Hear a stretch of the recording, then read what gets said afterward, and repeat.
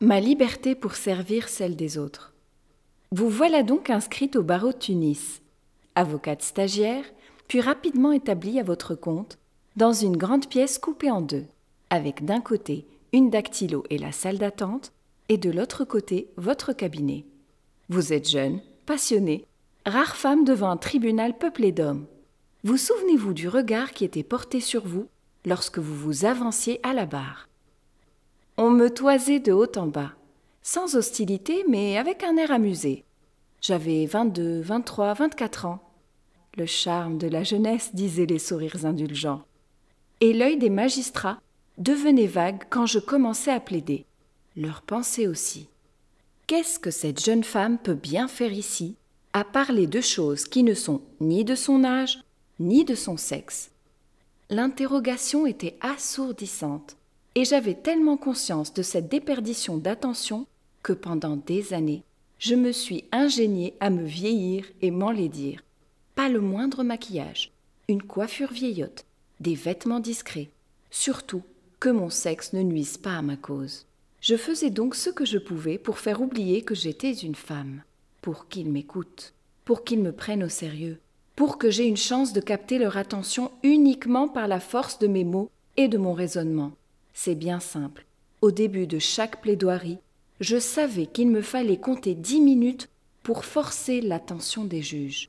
Dix minutes de perdu, uniquement parce que j'étais une femme.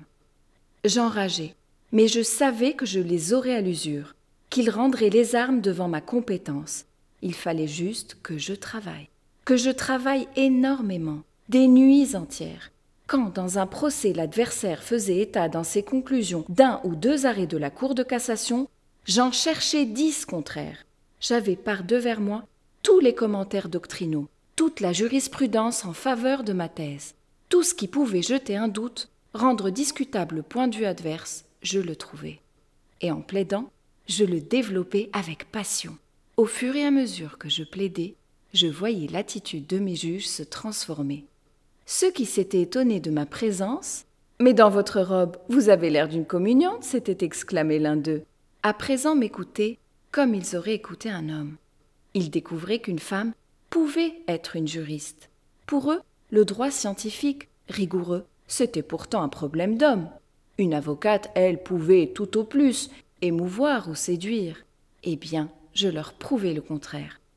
Bien sûr, mes adversaires utilisaient très souvent contre moi le fait que j'étais une femme. Si je gagnais une affaire, j'entendais mon confrère expliquer à son client ah, Qu'est-ce que vous voulez? Elle est jeune, elle a du charme. Contre la séduction, nous autres pauvres hommes, nous sommes bien peu de choses. Et quand c'était eux qui gagnaient, c'est une femme. Comment vouliez-vous qu'elle comprenne quoi que ce soit cette interprétation de jurisprudence? Elle a été dépassée. Je ne disais rien à la fin des procès, mais au cours de l'audience, je ne laissais rien passer. Un jour, mon adversaire a été pris au dépourvu par un argument coup de poing découvert dans un arrêt récent. Désagréablement surpris, il s'est tourné vers moi. Je voudrais dire devant cette jeunesse, ce charme, il n'a jamais pu terminer sa phrase car j'ai explosé. Nous sommes tous des avocats, au même titre. Nous parlons du même droit. Nous traitons les mêmes dossiers. Nous avons les mêmes privilèges et les mêmes obligations. Alors utiliser l'argument du jeune et charmant confrère, c'est tout simplement déloyal. Et c'est avouer sa propre incapacité ou le peu de sérieux de sa démonstration. Cela a jeté un froid glacial dans le tribunal. Les juges ne comprenaient rien. Mon confrère leur avait paru au contraire très galant. C'était un extrait de Une farouche liberté, écrit par Gisèle Halimi avec Annie Cogent aux éditions Grasset.